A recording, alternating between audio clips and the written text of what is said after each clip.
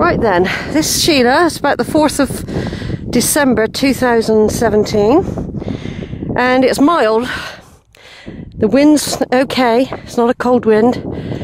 Um, there's no hint of rain today, it's supposed to remain dry, but very grey, very dull, so the photography will not be so good. But I've already taken some lovely images of Glastonbury Tor in the mist. I've just climbed up a massive hill from um, Westbury sub Mendip. I've climbed up. It's it's just up and up and up, and the first part of it is almost not vertical, but it is. Oh, I had to stop so many times. I really did. I was baking hot by the time I got to the top. Had to sort of take my coat off and uh, take some deep breaths and have a drink. Um, this because I've just I'm just I've literally just climbed up onto the top of the Mendips. This is one of the other ways that you can do it. Whichever way you want to get on the Mendips, if you're walking, if you drive, you cheat and you go and park over there. But if you if you don't cheat, you do the you do the proper hike. Right over there, I'm just zooming in because we'll be going somewhere else in a minute. Just get Glastonbury. There's Glastonbury toilet. I might have done it with this camera a year ago. I don't think so. No, no, because I I had a different camera. Um, the other one was 20. This is 30. This has got the viewfinder and the flash, flip up flash.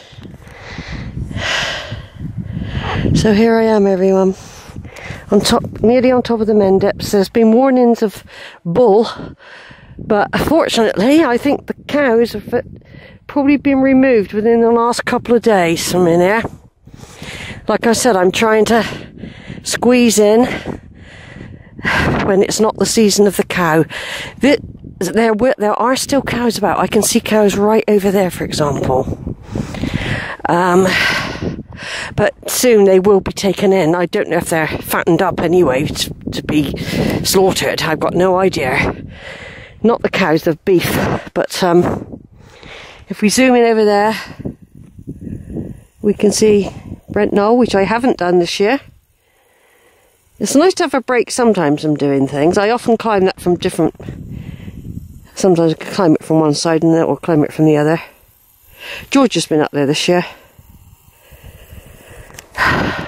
She wants to do Crooks Peak next. Um,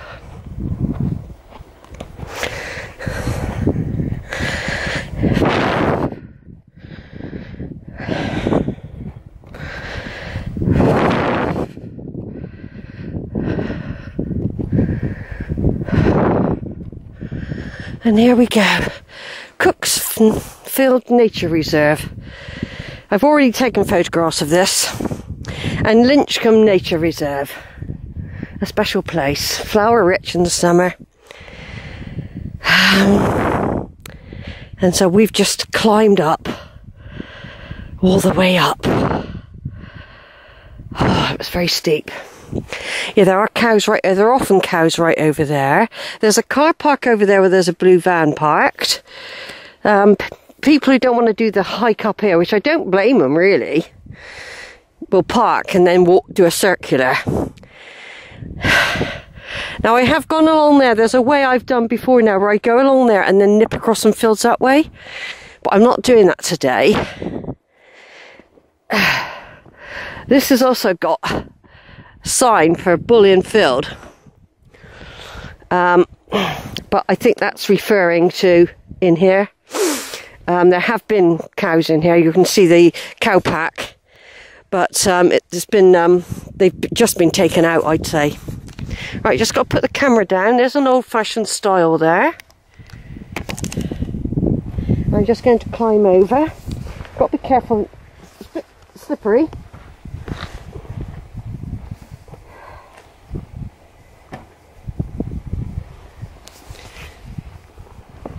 Where I've rested my hand there, it's perfect for hand. It's almost as if someone's designed that or it's just worn away with time to fit a hand in the in the stile there. Yeah, so this is Sheila. I had a lovely walk yesterday with my daughter and two granddaughters up on the Quantocks, a place called Greatwood. But today, um, what the only problem I got today is um, not time, it's light. But we can see, we can always come off at Draycott if, if I feel that it's going to be too dark. Um,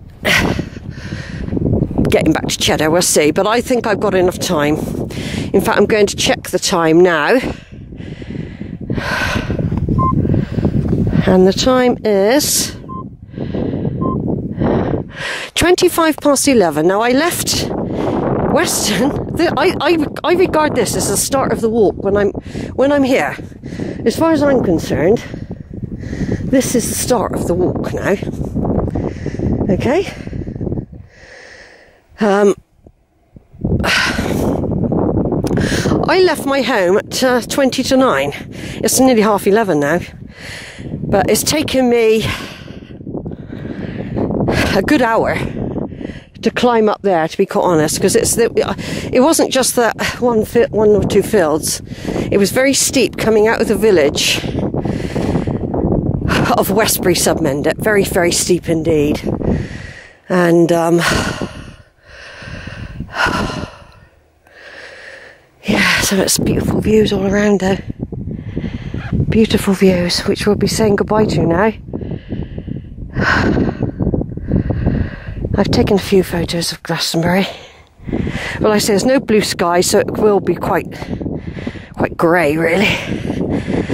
Um, I always look forward to this walk, you know, really, really look forward to it. But um, it does mean waiting for when it's not the cow season, because as you can see back there, there are signs all the way through those fields of a sign of a bull.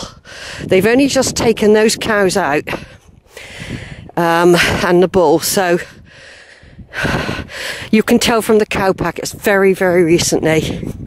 So it's now not the season of the cow at this in this area, but there's several fields. There's about four or five fields further up um, and further over where the cows will be now.